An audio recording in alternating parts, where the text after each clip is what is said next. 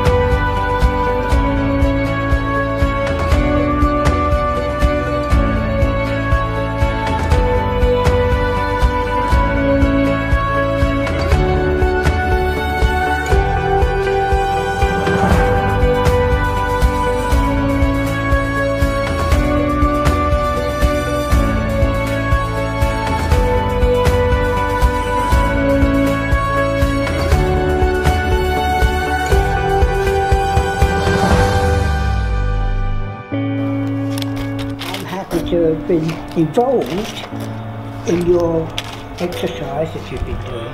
And I do thank you all for helping me to carry through with it. So thank you all, one and all.